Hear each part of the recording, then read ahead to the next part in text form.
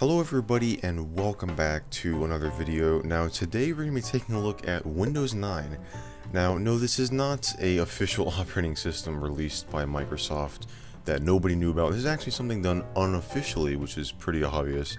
But yeah it's called Windows 9 and what it actually is is kind of interesting. This is an operating system based on Windows 8.1 embedded, but it is designed to look like Windows 7. So it has like the Aero theme and a few other Windows 7 visual elements. So this is the site right here at eastcoast.hosting forward slash Windows 9. I will leave this link down below in the video description because while you can download it from this site, um, this is not going to come with a license key. So you're going to have to provide your own license key for this, as he states down here um, in the, uh, or at the bottom of the uh, page right here. So it's not an illegal source of Windows because you have to provide your own key. But yes, this is obviously a user modified thing. Microsoft did not do this, as I said, and like just nobody knew about it. But this is a screenshot of it right here. And you can see that you know, it's got like some Windows 7 stuff going on here, but it's based on Windows Embedded 8.1 Industry Pro. So I'm very interested in, in like actually testing this out. I did get a few video requests for this. Uh, a few people, I had um, Hank717 on OS Forums. There were a few other people in some of my comments that mentioned um, if I had heard of this or if I wanted to do a video on this. And when I kind of read into it, I kind of thought this would be pretty cool to show off because this, I mean, could this be Windows 9? Probably not. I mean, Microsoft wouldn't go back to using Aero after they've gone with Windows uh, 8 and that whole design, but it's a sort of interesting hybrid between uh, Windows 8 and Windows 7 because it's going to be based on Windows 8 obviously, but it's using Windows 7 uh, or Windows 7's visual style. So what I've gone ahead and done is I have downloaded this and we're going to be booting it up in a VM here and seeing what it's all about. So what we're looking at right here is the readme slash changelog file that is actually in the .7z file that you download along with the ISO file and in here it just kind of gives you a general overview of what Windows 9 is. It tells you that it is provided for free on this website so if you paid for it you've been scammed pretty much. Um, and yeah, so it just kind of goes through, it gives you like a whole change log of, of what that they have uh, since the first 1.0 release. And it kind of tells you there's uh, you know all these different things that it's that they've added and that they've removed from the uh, uh or uh, from this operating system and it does say down here at the very bottom that you know this software is provided as is with no warranty and that this is not an activated product and that you have to uh, provide the key yourself. So yeah that is a general overview of what windows 9 is. And what i'm going to go ahead and do now is just skip over the installation process because as far as i know it is identical to a Windows 8 installation process. So there's nothing special there, but if there is, I'll be sure to add it into the video. But I'm just going to go ahead and jump right to us loading into the operating system, and we're going to see what this is all about. Alright, so we are back. We have just finished up with the setup. As I mentioned, it was literally identical. And yeah, so we're here at the desktop. So yes, it is based on uh, Windows Embedded 8.1 Industry Pro, build 9600. Yeah, I mean, we've got a Windows 7 Aero theme with like the same Windows 7 start menu with um, all of, yeah, all the stuff that we are used to in Windows 7. We've got the icons here. We're going to go into personalize here and yeah, we've got the like the old personalized thing. Um, wow, I mean, this is really like to a novice. I mean, this is a little bit square here, right? Like that that doesn't. I mean, to me, like I know what Windows 7 Aero looks like, so I can tell that like yeah, like these edges are a little bit more square. Um, than they are in uh, you know like a regular release of Windows 7 but to like the average user to like a novice computer user they probably wouldn't even be able to tell the difference so we're just to go ahead and bump this up to 1080p here and hit apply. So there's a few things that gives this away that it is Windows 8.1 rather than Windows um, 7. One of those things, as I mentioned, is the like edges here, how they're a little bit more square.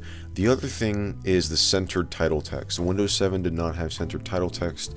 Uh, that was that started back up in Windows 8. Again, if you don't really pay attention to like the minor details and things, you're not really going to notice that. But just for you guys who are interested, we'll go ahead and run a WinVer and so yeah, Windows Embedded 8. It's NT 6.3, copyright 2013, Windows Embedded 8.1 Industry Pro. So that is the like what this operating system is based off of. But you can see they've done a really fantastic job in getting this to look like Windows 7. We've got, as I mentioned, the Aero theme, almost an exact recreation, uh, almost identical to the Windows 7 Aero theme. We've got all the Windows 7 icons, um, this Windows flag here in Windows 7 is normally the old Windows flag, but so that's kind of another uh, small giveaway. Uh, again, all like the old folder icons. Um, we go into control panel and see if we have the old icons here. Yeah, we've got the old icons here and everything. If we go into system, also these like back buttons up here are a little bit different.